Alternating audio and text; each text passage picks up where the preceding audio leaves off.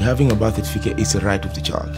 It's a right of identity. It's a first document that gives identity to the person, to be known who you are. Now, identity is given out of the piece of paper, and that's what we, we, we give to the child. So we've given him the right to be identified, the right to be known. Birth registration is one of the fundamental rights of all children. To me, that was unimaginable happiness. That she is and she will be Tanzanian just because she got my. It's a right.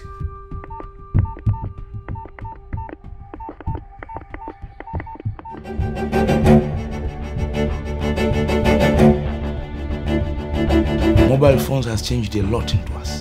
They've made us to use the facilities that are available in mobile to get the informations from the people and to us.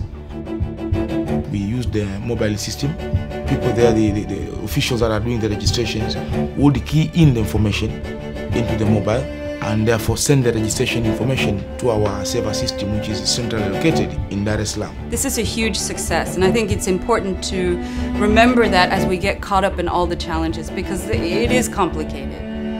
Our history here has not been very good when it comes to give those services to the people.